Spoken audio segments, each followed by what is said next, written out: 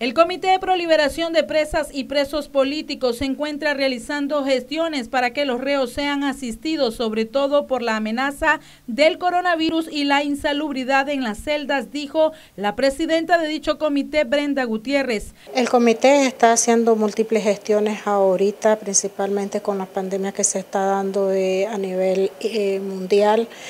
pues eh, hemos tenido varias reuniones con la Cruz Roja Internacional solicitando que nos apoyen con las visitas y con este especialmente con la asistencia a los presos políticos debido a que no les dan el ingreso necesario de medicamentos. Estamos, eh, sabemos todos los que hemos tenido presos de que no es un lugar adecuado humanamente para que estén ahí por tanto tiempo. La insalubridad es bastante grave para ellos debido a que no hay un buen ambiente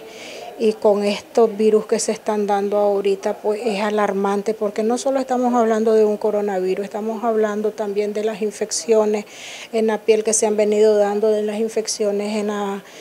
eh, en las vías respiratorias. Estamos hablando de múltiples casos que, que, o virus que se está viviendo a nivel de Nicaragua y la verdad es que aquí muchos estamos alarmados por el coronavirus, pegando carreras, que las compras, que esto, pero se nos está olvidando inclusive a las fuerzas opositoras, se les está olvidando que tenemos presos políticos. Yo le hago un llamado no solo a las fuerzas opositoras, sino a la población en general que sigamos en pie de lucha, de que es verdad de que estamos viviendo tiempos difíciles con esto del virus, pero también no nos olvidemos de los indefensos. Las personas que están en las cárceles están indefensas. Brenda Gutiérrez hizo un llamado a los sectores opositores a proporcionar medicinas para los reos políticos. Y un llamado a la alianza especialmente en que nos proporcionen acá como comité y como unidad médica el medicamento adecuado para poderle hacer llegar a los presos políticos y evitar